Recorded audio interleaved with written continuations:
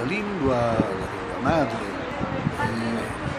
lo strumento più prezioso che noi abbiamo per far funzionare e anche per allargare la nostra capacità di intelligenza, di comprensione dei fatti, di costruzione di saperi, di costruzione di tecniche operative.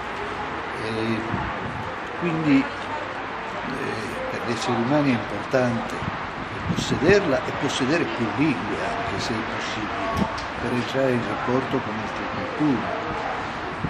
E questo deve fare parte del bagaglio comune di chi in particolare coltiva lo sviluppo delle capacità linguistiche, l'uso parlato e scritto della propria e di altre lingue, ha un ruolo importante quindi nella vita sociale complessiva.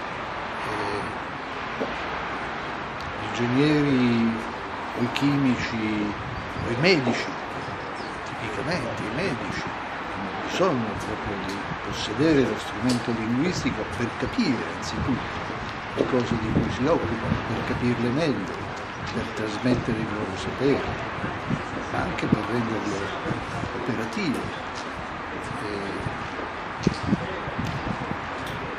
costruiremmo ponti strade e congegni elettronici dispositivi elettronici senza possedere la nostra lingua materna. Questo significa che in una società ben organizzata dovremmo sapere sviluppare tanto gli studi tecnici applicativi, quanto gli studi scientifici più teorici, quanto gli studi humanitatis, come si dice, gli studi umani. E diceva anche durante il seminario che è difficile, quasi una chimera, eh, favorire l'interdisciplinarità nei contesti accademici. Come si può favorire secondo lei, professore? Lavorando molto e insistendo molto perché questa si crei, questa si sviluppi.